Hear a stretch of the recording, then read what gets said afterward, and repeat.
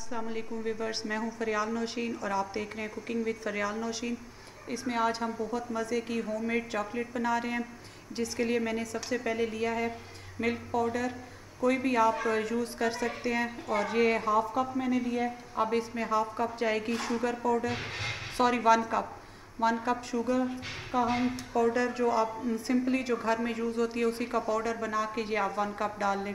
और half cup हमने डाला था मिल्क पाउडर में जाएगा और कोको पाउडर, वो भी हाफ़ कप। तो ये तीन इंग्रेडिएंट्स है जो हमने डाल दी और इनको अच्छी तरह से मिक्स कर लेना। अगर इनमें आप छानना चाह रहे हैं तो इनको एक दो दफ़ा छान लें, वरना इन तीनों चीज़ों को अच्छी तरह से आप मिक्स कर लें। ये एक बोल में मैंने पानी डाल दिया है और इसके ऊपर हम दूसरा बोल रख देंगे और इसको हमने स्टीम से बनाना है। तो इसमें मैं डालूँगी वन थर्ड कप जो है वो आपने कोकोनट ऑयल लेना है। वो हम इसमें डाल के इसको पहले अच्छी तरह से गर्म कर लेंगे। तो इसमें आपने ये ख्याल रखना है कि जो ऑयल यूज़ होगा, वो कोकोनट ऑयल यूज़ होगा। तो वो उसी से ही इसकी अच्छी सी, और ये है कि कोकोनट ऑयल जो यूज़ करना है, वो आपने खुशबू के बगैर यूज़ करना है। एक खुशबू वाला आता है, वो यूज़ नहीं करना, और इसको डबल बॉयलर कोई भी आप नीचे पैन ले लें, उसमें पानी डाल के जिसके ऊपर एक पैन रख के इसमें आपने बनाना है। जो हमने डाला है वो अच्छी तरह से गर्म हो गया। अब इसमें हमने जो बैटर डाला था, तीन मिक्सचर जो हमने डाला था, वो इसमें सारा ऐड कर देंगे। और इसको अच्छी तरह से मिक्स करना है।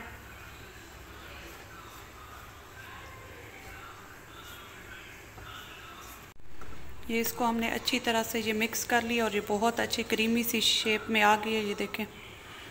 बस अब हम इसको इससे बॉयलर से हटा देंगे और साइड पे कर देंगे।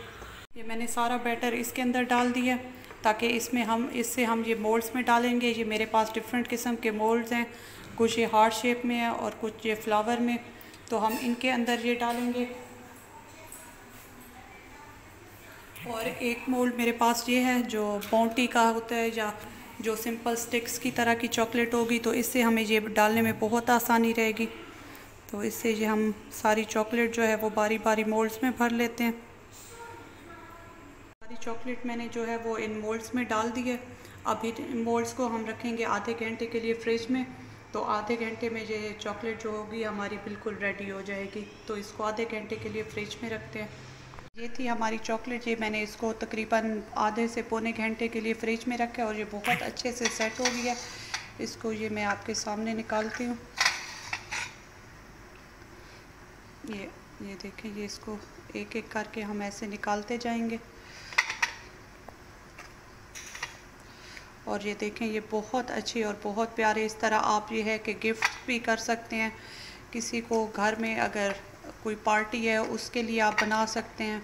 बहुत अच्छे ये बन गए ये मैं कुछ हार्ट वाले भी निकाल के दिखा देती हूँ। ये देखें, ये हार्ट में आप जिस तरह के आपके पास हैं मोल्ड हैं तो आप उसी शेप के बना लें। अगर मोल्ड नहीं है तो आप मोल्ड ले लें। बहुत सस्ते से ये मिल जाते हैं और तकरीबन हर स्टोर पे सुपर स्टोर पे इजीली अवेलेबल होते हैं।